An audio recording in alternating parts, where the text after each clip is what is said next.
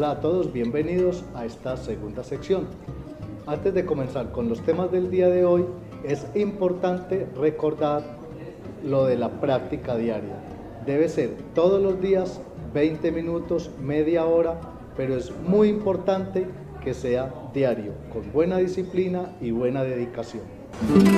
Antes de continuar, vamos a tener en cuenta unos aspectos que son muy importantes cuando nos disponemos a tocar la guitarra. Vamos a mirar entonces la forma como se hacen los ejercicios propuestos. El primer ejercicio se trata del ejercicio de relajación. Se coloca con los brazos estirados, las manos relajadas y simplemente se dejan mover. Rotación de muñecas consiste en colocar las manos con el puño cerrado y hacer movimientos de rotación.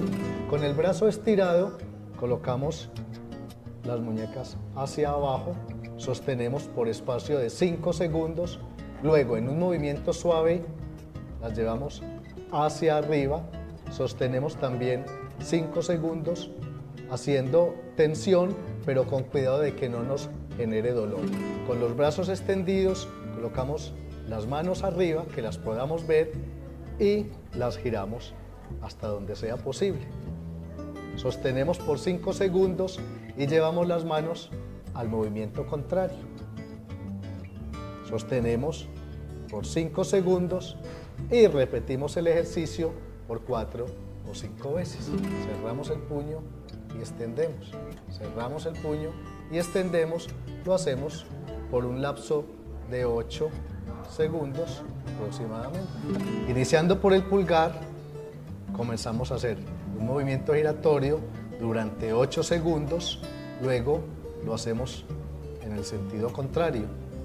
Vamos luego con el dedo índice, hacemos lo mismo, un movimiento circular, 8 segundos, luego nos devolvemos y así consecutivamente con cada uno de los dedos.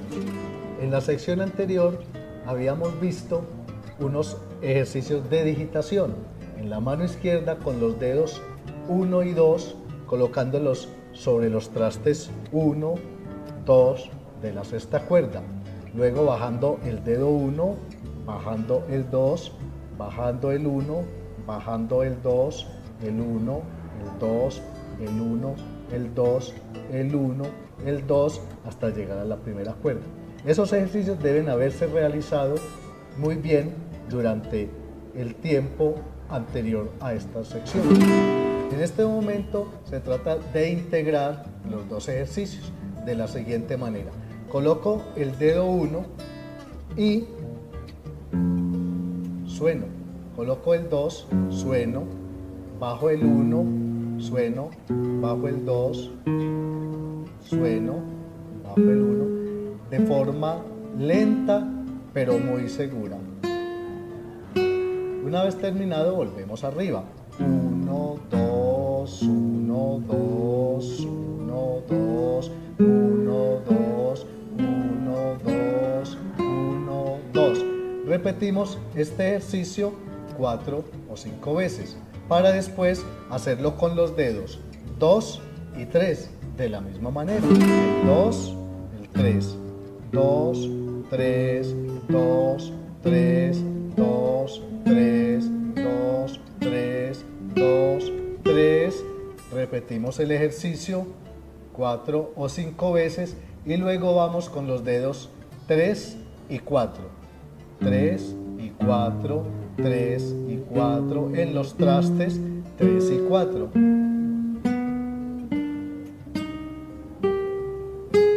Al llegar a la primera cuerda, repetimos el ejercicio y luego vamos de nuevo a los dedos 1, 2 y 3. Luego retomamos con los dedos 1, 2, completo hasta abajo. Estos ejercicios los repetimos por espacio de 4 o 5 minutos. El siguiente ejercicio, que se trata de los cuatro dedos colocados sobre la misma cuerda, lo vamos a realizar también con sonido. Colocamos el 1, sonamos el 2, el 3, el 4. Levantamos la mano levemente e iniciamos con la quinta cuerda. 1, 2, 3, 4, vamos a la cuarta sonando. Vamos a la tercera, segunda y primera.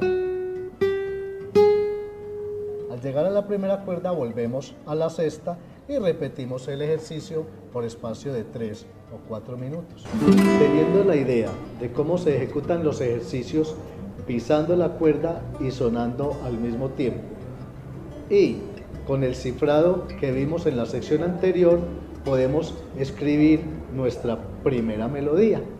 Esa melodía escrita con cifrado debe sonar más o menos así.